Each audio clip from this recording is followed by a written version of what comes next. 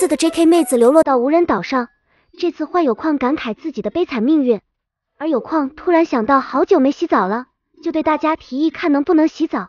大伙很诧异，生存的优先级不应该是水和食物吗？洗澡什么的靠后吧。可有矿说，反正也是等救援，万一救援明天来了，一闻，妈呀，这几个姑娘好臭，那不完犊子了。闻言，轩然和学霸不想社死，也同意了有矿的观点。男主说，为了健康，洗澡可以的，但只能淋浴。有矿开心的都想马上嫁给男主了，但有矿看到成品，心情跌落谷底。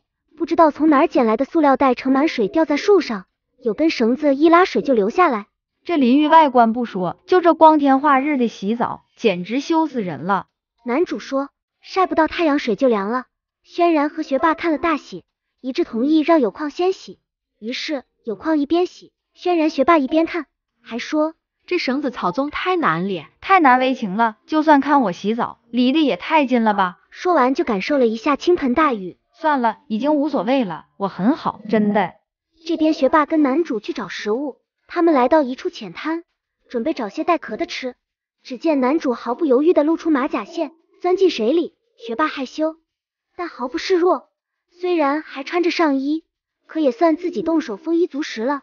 男主告诉学霸，影子下可以看清水里。学霸看到有海螺样的东西，就问男主，男主说是科研螺，没问题，可以吃。学霸抓了很多放在石头上，正在欣赏自己的成果呢。海螺有的动了起来，吓得学霸惊呼，原来是寄居蟹。